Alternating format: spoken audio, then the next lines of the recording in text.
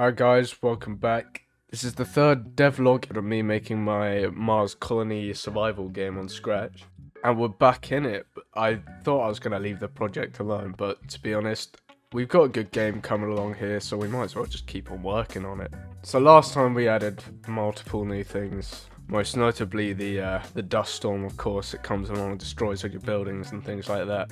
So today I'm going to be adding some of your suggestions. So one of the complaints I got was that if you're not on PC, you literally can't play it.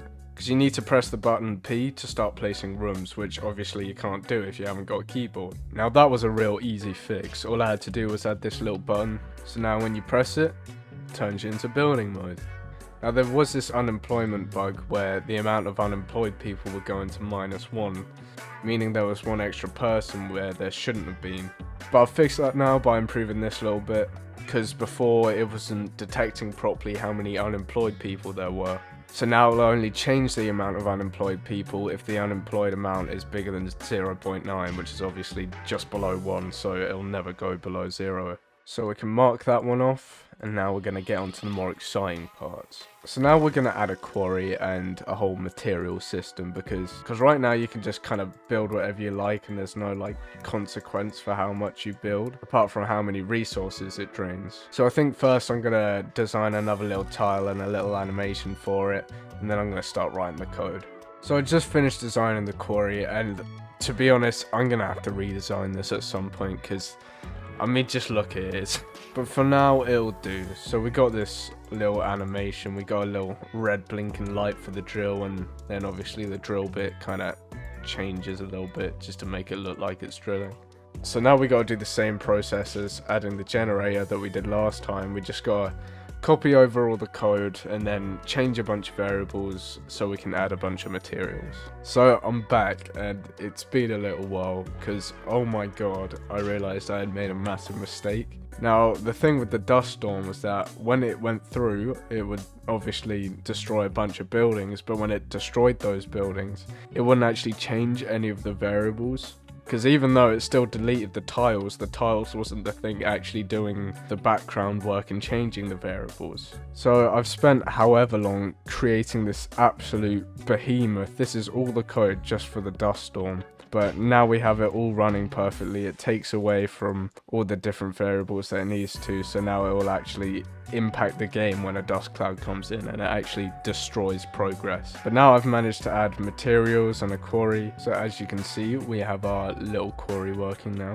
and our materials will slowly increase. You only start off with 20 materials instead of the 50 that you get for food and power. But I've been playing around with it, just testing things, and to be honest, it's a lot better. It, there's a lot more balancing, and you really have to think about what you're adding next to try and survive. But yeah, hopefully, see, look, it'll destroy stuff.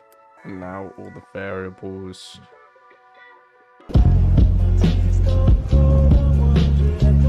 Okay, I'm going to try and fix this because this keeps on happening. The power workers keep on getting bigger than the power capacity, which doesn't make sense. But that, that's a bug I've been trying to scan through for ages now, and I genuinely can't work it out. There's just so much stuff to go through. But hey, I'll, I'll, I'll try and sort it. I, I guess we'll just have to wait and see. So it's been a couple days. I managed to fix that bug I previously mentioned, or at least I hope I have, but throughout testing the problem didn't seem to come up again. Now there are these two last things I want to add. So those two things are a main menu and a back to menu button because I just feel like a game always feels a lot more complete if you don't have to press the green flag button to keep on restarting it. it just makes it a lot better quality. So I think I'm going to start designing a main menu and then adding that back to menu button as well.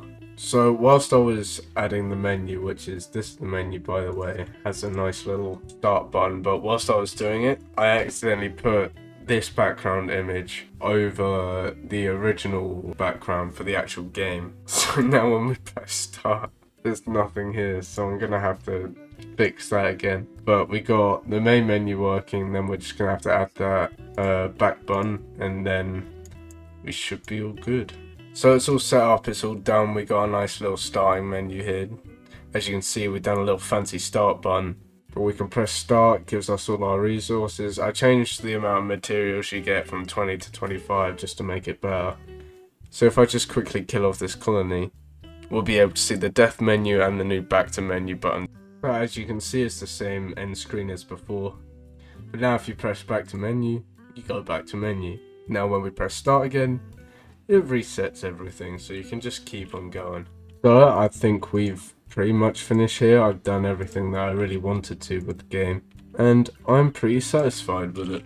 So if you want to play the game, I'll have it either in the comments section or the description. But I don't go just yet, because I got a quick announcement to make. That's right, I'm hosting a Scratch Game Jam. The jam is going to be from Friday, March the 22nd to Monday the 25th, so you have the whole weekend to make a game using Scratch to submit to the jam. The winners get a video dedicated to them where I'll be playing and showing off their games. There will be a theme which I will be announcing on the 22nd, so follow the link in the comments and let's get jamming.